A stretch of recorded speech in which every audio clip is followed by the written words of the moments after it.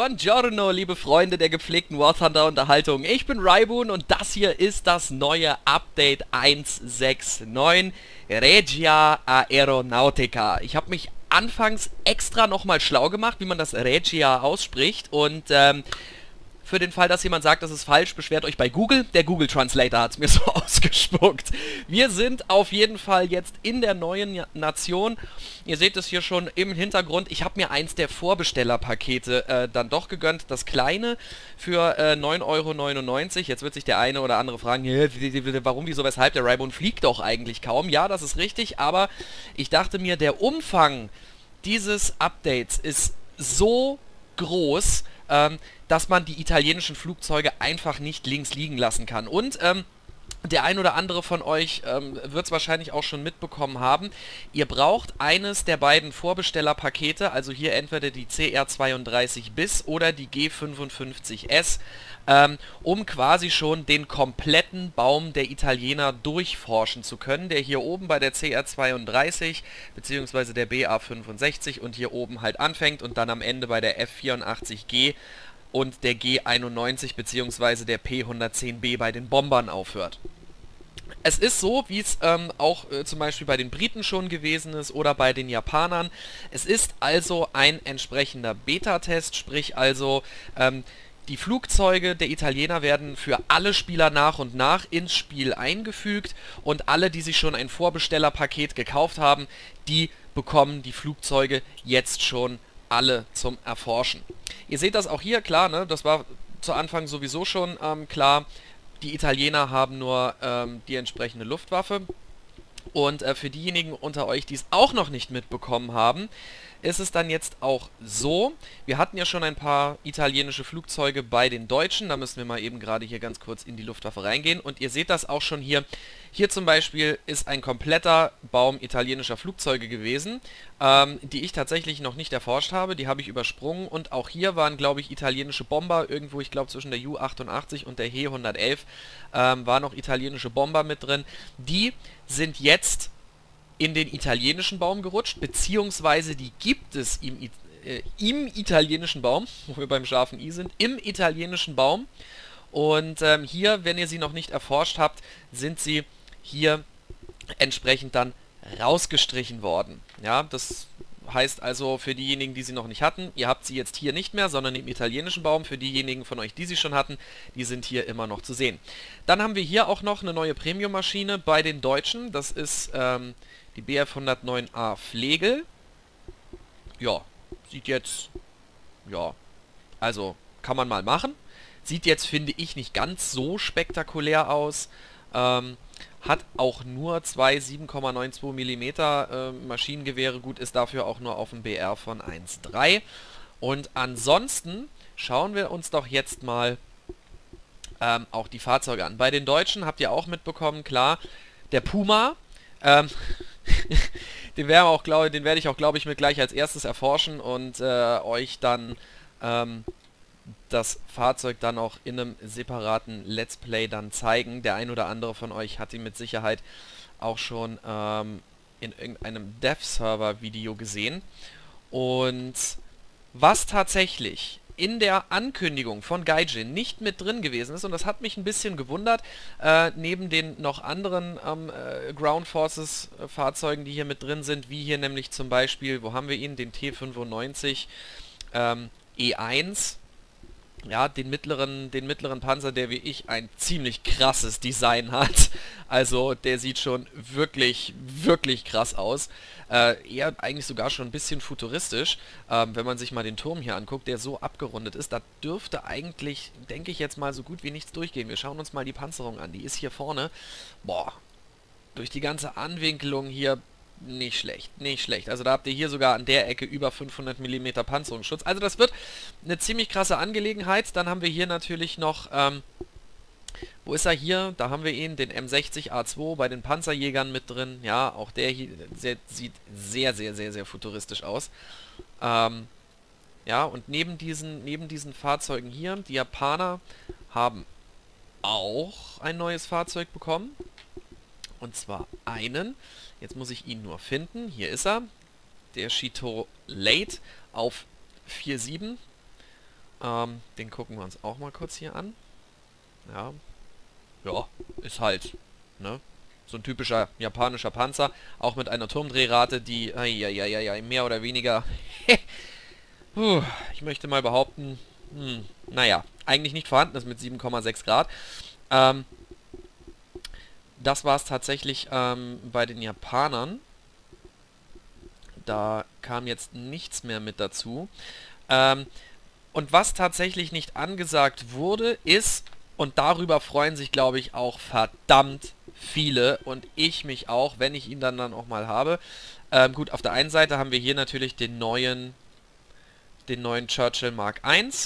Ja, sieht jetzt auch nicht besonders spektakulär aus. Wir haben hier einmal ähm, eine, eine 40 mm 2 Pfünder Kanone und dann auch noch die 76 mm Kanone hier unten. Die 3 Inch Haubitze. Ähm, ja, das wird halt wieder ein, ich schieße meine Gegner einfach zusammen, weil bis die große Kanone nachgeladen hat, hat die kleine wahrscheinlich schon zweimal nachgeladen. So. Und wir hatten ja vorher schon den Chieftain Mark III im Spiel und jetzt endlich Gaijin hat die Gebete und die Wünsche der Spieler erhört und hier ist er nun, der Chieftain Mark 5. Bis ich da bin, wird es noch gefühlt ewig und drei Jahre dauern. Aber ich freue mich jetzt schon auf diesen Panzer und ähm, das wird, glaube ich, ein richtig, richtig geiles Ding. Wir gucken mal eben gerade ganz kurz auf die Panzerungswerte. Ähm, da seid ihr hier vorne an der Wanne gar nicht so stark gepanzert mit 120 mm. Also empfehle ich hier jetzt schon mal, hier oben sind es dann schon 204 durch die Anwinkelung, hier oben 418 und da wird es dann jetzt eher am Turm ähm, wichtig werden. Hier sind es so, ja, je nach Anwinkelung 260, 270, hier unten 300 knappe, hier sind es über 400, hier sind es knappe 300, ja, also da kann man schon ein bisschen mit arbeiten. Also diesen Panzer würde ich eher sogar Hull Down spielen, ähm, als jetzt irgendwie da tatsächlich direkt frontal äh, äh, da auf die Gegner zuzugehen. Das macht auf jeden Fall, glaube ich, mit dem Chieftain Mark 5 mehr Sinn. Und bis ich da bin, das seht ihr hier, wird es noch ein bisschen dauern. Außerdem mit reingekommen der Vickers Main Battle Tank, der Mickers, äh, Mickers, der äh, Vickers MBT. Ähm, was ich jetzt auch gelernt habe, bitte nicht verwechseln mit dem Vickers Mark I. Der Vickers Mark I ähm, ist der Panzer aus dem Ersten Weltkrieg gewesen. Der hier sieht tatsächlich sehr, sehr kastenförmig aus und ich finde, er ist auch nicht wirklich hübsch. Ähm, er sieht eher so ein bisschen aus wie aus so einem alten, ja, 16-Bit Computerspiel, wie man das noch irgendwie kennt. Und auch hier schauen wir uns mal gerade ganz kurz die Panzerungswerte an. Ähm, auch hier die Unterwanne eher ja hier vorne auch eher die Schwachstelle, würde ich jetzt mal ganz ehrlich behaupten. Also das ist ungefähr gar nichts auf dem BR von 7.0, auch hier unten. Ähm, am Turm, ja. Puh. Also da müsst ihr tatsächlich mit der, mit dem Ding, mit dem Ding tatsächlich echt vorsichtig unterwegs sein. Wir gucken uns mal die Modifikation an, weil wir haben eine 105 mm, 105 mm L7 A1 Geschütz und ähm, ja, standardmäßig, da seht ihr schon APDS mit ordentlich Bums dahinter. Und als zweite Munition die Hash mit 127 mm Durchschlag. Ähm, also das wird schon, glaube ich, ganz gut. Was man tatsächlich, was hier tatsächlich auch noch drin ist, ähm, der Vickers hat tatsächlich ähm, zwei Arten von Rauch. Weil der Rauch ist ja auch ins Spiel mit reingekommen. Ähm, zum einen habt ihr hier die Rauchgranate und dann den Smokescreen. Ähm, der Smokescreen wird hier über die, über die, ähm, na, über die Nebeltöpfe, so ist der richtige Ausdruck, über die Nebeltöpfe verschossen. Ähm, und äh, zusätzlich scheint es bei dem Vickers tatsächlich so zu sein, dass er hier auch noch die Rauchgranaten hat. Also die komplette, die komplette Übersicht der Fahrzeuge, welche jetzt Rauchgranaten bekommen haben und welche Fahrzeuge ähm, äh, die Möglichkeit haben, ihre Nebeltöpfe, sofern sie denn welche hatten, zu benutzen, die findet ihr auf der, äh, in der, im Changelog. Der Changelog ist auch im Launcher ähm, verknüpft und auch natürlich auf der Homepage zu finden von, von War Thunder. Und dann haben wir jetzt auch noch bei den Russen das ähm, Objekt 268. Wo haben sie das jetzt reingepackt? Wo ist das drin? Wo? Nein, das ist dann hier oben drin. Der IT1. Ah, hier. Das Objekt 268 haben sie dann hier noch entsprechend dazwischen gepackt, zwischen die Su 12254 und den IT1. Ja, also das wird, glaube ich, auch ein relativer Hasspanzer, weil ihr hier ein 152 mm Geschütz habt. Das wird auch übel. Wie schaut es hier mit der Panzerung aus? Ja, auch die Panzerung ist hier vorne mit gut 300 mm und hier sogar an der Ecke, na, leckt mich doch am Arsch fast. Boah.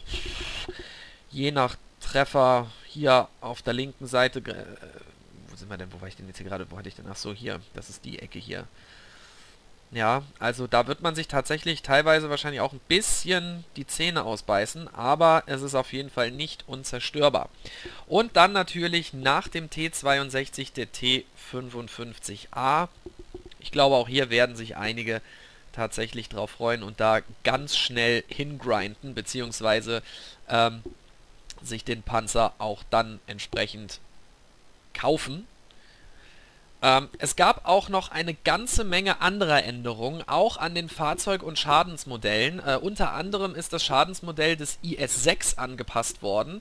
Ähm, da muss man tatsächlich mal im Spiel gucken, wie das Ganze ausschaut. Ich gehe mal stark davon aus, dass äh, Gaijin hier an der einen oder anderen Stelle ähm, den Panzer weniger bouncy gemacht hat. Also dass ihr jetzt nicht mehr solche Schwierigkeiten habt, den Panzer zu knacken. Ähm, wie es ja tatsächlich ja, seit dem letzten Update, seit der Einführung in, in 1.6.7 der Fall gewesen ist, dass man sich tatsächlich wirklich frontal die Zähne ausgebissen hat. Man muss das natürlich im, äh, im entsprechenden Spielfluss dann sehen, ob das Anpassen des Schadensmodells ähm, den Panzer jetzt weniger bouncy macht. Das muss man tatsächlich mal überprüfen. Und dann natürlich hier, klar, na, die neue Nation, die Italiener. Ich habe, wie gesagt, ähm, mich jetzt nicht dazu hinreißen lassen, sondern mich bewusst dazu entschieden, ähm, mir eins der Vorbestellerpakete der Italiener zu holen. Ganz einfach, weil es wirklich so ist, dass ich sage, ähm, auch wenn ich wenig fliege, möchte ich euch trotzdem den kompletten Umfang dieses Updates zeigen können und ähm, ja, natürlich auch dann ähm, mich jetzt bei den Italienern ein bisschen durchspielen und schauen, wie sich die Italiener fliegen lassen und vor allen Dingen auch, wie ich mit den Italienern klarkomme. Und ähm, möchte tatsächlich durch diesen großen Umfang des Updates ähm, ja die Italiener nicht nicht links liegen lassen, sondern tatsächlich ähm, auch da den vollen Umfang haben und ähm, ja, mich auch an der Beta für die Flugzeuge dann auch aktiv beteiligen. Und ich muss ganz ehrlich sagen, die Italiener reizen mich wirklich. Äh, deswegen habe ich mir gedacht, komm, mache ich das einfach und äh, schau einfach mal, wie das Ganze wird. Ich werde jetzt so allmählich dann anfangen, jetzt dann natürlich auch die ganzen ähm, Fahr- und Flugzeuge für euch dann entsprechend zu erforschen und äh, sie euch dann auch entsprechend zu zeigen, euch zu zeigen, ähm, wie ich damit klarkomme. kurzer, kurzer, kleiner, kurzes, kleines, lustiges Ding am Rande. Hier seht ihr 28.500 Spieler online, 907 Schlachten und äh, wir machen einfach mal spaßeshalber folgendes. Ähm, wir gucken einfach mal, ob wir eine RB-Schlacht finden. Ach, verdammt. Moment. Eine RB-Luftschlacht. Ich war ja noch auf RB-Landschlachten. So. Wir gucken einfach mal. das ist wieder so typisch. Es will jetzt natürlich jeder die Italiener spielen. Und ähm, ja, dadurch, dass natürlich so wenig Spieler online sind, ähm, dauert es natürlich auch eine gewisse Zeit. Deswegen wäre es jetzt auch, ja, Schwachsinn, ähm, ins Spiel reinzugehen, weil selbst auch der, der russische Server auch, hier sind 100 Spieler, ähm, die halt hier auch eine Schlacht mit den Italienern suchen. Da versucht sich jetzt natürlich jeder entsprechend hochzuspielen. Also, ähm, ja, es, es, es, es ist so wie in jedem Update mit ganz neuem Content, dass natürlich ähm, viele jetzt natürlich auch versuchen, ähm, da entsprechend äh, die neue Nation dann spielen zu können. Das war damals bei den Japanern auch schon so. Äh, bei den Briten, glaube ich, war es nicht ganz so schlimm. Ähm, und jetzt natürlich bei den Italienern ist es wieder so, weil klar, äh, die Leute wollen es natürlich, wollen es natürlich wissen, wie die sich im ja, im Spiel halt eben einfach äh, anfühlen und wie sich das Ganze dann natürlich auch anlässt, gegen die anderen Nationen zu fliegen. Ich bin sehr, sehr gespannt. Ich freue mich schon riesig drauf. Ich werde jetzt schon mal ein bisschen anfangen, ähm, den Puma zu erforschen, damit ich euch den dann so schnell wie möglich zeigen kann. Äh, bitte wundert euch nicht, wenn es in den nächsten Tagen so äh, am Wochenende, ja, vielleicht vom neuen Update noch kein ähm, Video gibt. Ich habe jetzt am Wochenende noch Geburtstag. Deswegen, ähm, ja, kann es ein bisschen, ein bisschen dauern. Es wird auf jeden Fall noch ein Gast-Replay geben, das hatte ich vorab schon aufgezeichnet. Und äh, ansonsten werden wir uns dann natürlich dem neuen Content widmen äh, des neuen Updates und da wird dann jetzt dann immer äh, peu à peu immer mehr dann auch von mir kommen. Auch äh, dann natürlich auch das ein oder andere Fliegervideo dann wieder. Ähm, ich bin sehr, sehr gespannt auf eure Meinungen zum neuen Update 1.6.9. Lasst mir gerne mal in den Kommentaren eure Meinung dazu da. Wenn euch das Video gefallen hat, dann wisst ihr, wie es geht. Bitte einen Daumen nach oben da lassen, wenn es euch gefallen hat. Und wenn ihr mich noch nicht abonniert habt, freue ich mich natürlich auch über ein Abo. Ich bedanke mich bei euch fürs Zuschauen, auch wenn ich euch jetzt ein bisschen zugequatscht habe. Und ähm, ja, im nächsten Video sehen wir uns natürlich wieder dann mit einem neuen Fahrzeug beziehungsweise mit einem neuen Flugzeug. Danke euch, bis zum nächsten Mal, macht's gut, euer Raibun.